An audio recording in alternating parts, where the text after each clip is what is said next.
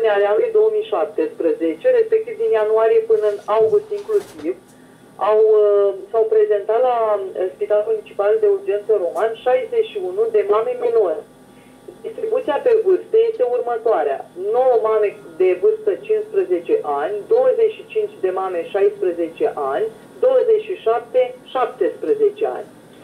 Distribuția pe, vârst, pe luni este următoarea. În ianuarie 5 minore, în februarie 11 minore, în martie 10 minore, în aprilie 8 minore, în mai 5 minore, în iunie 10 minore, în iulie 5 minore și în luna august 7 minore.